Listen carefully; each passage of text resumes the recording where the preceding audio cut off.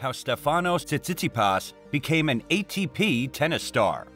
Biography Stefanos Tsitsipas is a Greek professional tennis player who currently holds the number one ranking in Greece and has previously ranked number one in the world among junior players. His current number 44 world ranking also makes him the second youngest player on the ATP Top 100 list.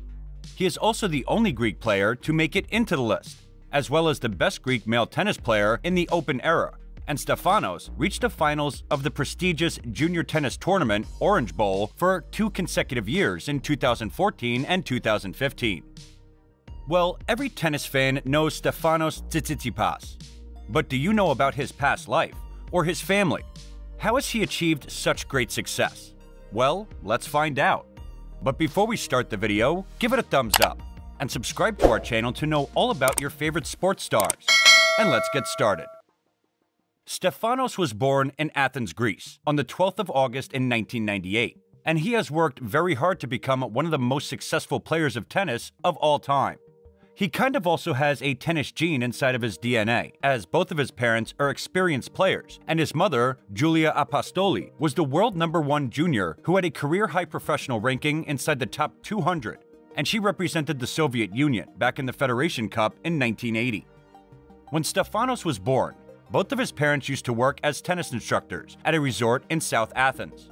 Stefanos is the oldest of his siblings, and surprisingly, all of them are tennis players. It's not like their parents tried to force them into the sport, but it was always a big part of their lives, and Stefanos himself says that tennis formed a part of most of his first memories, that he remembers watching matches on TV and in person. While he took part in other sports as a child, he himself made the decision to become a professional tennis player. At the age of nine, according to his father, Stefanos woke up in the middle of the night, and after watching a tournament in France, he told him that he wants to become a tennis player, saying that he likes the competition and the challenge. No doubt, it must have made his father very happy, and Stefanos has been trained by his father for most of his career, and his father had actually formally studied tennis coaching at the University of Athens in order to help train his children. When Stefanos turned 15, he started training at the Patrick Mouratoglou Academy, splitting his time between France and Greece. Two years later, in 2017, he won his first ATP match and soon ascended up the ATP rankings the following year. He played three tour level finals in 2018 and also won his first title in the Stockholm Open. With his first runner up finish at the Canadian Open, he became the youngest player to defeat four top 10 opponents in a single tournament. Since culminating his season with his exhibition title at the Next Generation ATP Finals, Stefanos has become a fixture in the top 10 of the ATP rankings. In 2019 and 2021 year, he reached two Grand Slam semifinals at the Australian Open and another two during the French Open. In 2015, at the age of 16, Stefanos qualified for his first event on the ATP Challenger Tour at the Berney International, but lost his only main draw match to Benjamin Mitchell. However, the slight setback didn't discourage Stefanos, because he went on to win his first future title later in that same year. Throughout the following year, he went on to win a total of 11 such titles, 5 in singles and 6 in doubles. In 2017, he played his first ATP main draw at the Rotterdam Open, where he unfortunately lost his debut match to the eventual champion, Jo-Wilfried Tsonga. But again, he did not allow this match to discourage him, and he went on to make his Grand Slam debut later that same year as a qualifier at the French Open. After losing and qualifying at the US Open, Stefanos won his first challenger title in Geneva. Overall, he qualified for a tour best 8 events during the season, including Wimbledon and Shanghai Masters. However, he did not win a tour level match until the very end of the season, when he defeated fellow next gen player Karen Khachanov in Shanghai. At the European Open in Belgium, he reached his first ATP semifinal as a qualifier, and it was this event that catapulted his career even further. Because during the event, he upset the hometown favorite and world number 10 David Goffin for his first career top 10 victory.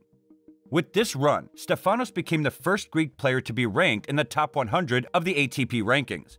And in case you haven't been keeping track, he achieved all of this by the age of only 19. While he was undoubtedly one of the best players of all time, he still has some way to go before he can take over from the old guard being Rafael, Nadal Roger, Federer, and Novak Djokovic. Although with a current net worth of around $11 million, he's probably well on his way there. He has used some of his hard earned money for his millionaire lifestyle to set himself up in Monte Carlo. That has everyone talking about how he snagged up his very pricey holiday on Instagram, showing fans the villa he rented for a little over $24,000 a week. The breathtaking six bedroom house is located just above the world famous Beach of Psarou and set in a sprawling 5,000 square foot private compound. Overlooking the beach and the Aegean Sea, each of the six bedrooms boasts an in-suite bathroom and balconies with sea views. According to the Daily Mail, multiple terraces and lounging areas can be seen wrapped around the swimming pool. And apart from that, there's a formal outside dining area shaded by a traditional pergola. That's how he spent his vacations, so imagine what his house will look like. But unfortunately, we don't have any details about his own home, as he's keeping it all a secret. We can, however, tell you what he drives. Let's just say his car fits the Monte Carlo mold perfectly, because in Stefano's garage, you'll find a Ferrari F430, and he himself calls it more than a car. The Italian produced sports car comes with a 4.3 liter V8 engine and has a top speed of 196 miles per hour. It can accelerate from 0 to 60 miles per hour in 3.6 seconds and comes with a starting price of $217,310. His dream car is the Aston Martin Vantage, and he recently said to FirstSports.com that if he became the ruler of Greece, even for a day, he would give everyone an Aston Martin. Now that's pretty cool. Furthermore, in case you didn't know, he's fluent in not only one, not two, but three languages English, Greek, and Russian, as his mother is of both Russian and Greek descent. He has two Instagram accounts. His primary account is mainly for his fans, but since he has an interest in photography, he posts his pictures on Instagram using the pseudonym at Steve the Hawk. In a recent interview with GQ, Stefanos confessed that growing up, he would cry and hide behind cars after losing.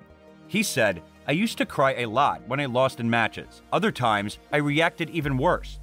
Sometimes I would just freak out and run away from my parents and hide somewhere so they can never find me. I felt so embarrassed, so ashamed of my performance, that I couldn't face them or anyone. However, he told the magazine that after he had a near death experience as a child, it completely changed how he sees tennis. One thing is for sure Stefanos Tsitsipas is one of the ones to watch right now, and hopefully his future will be as bright and as successful as his career.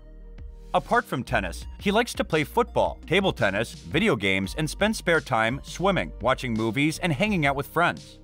If he had not been a pro tennis player, his next choice was to become a professional footballer. And that's all for today. Don't forget to hit the like and subscribe to our channel for more amazing videos.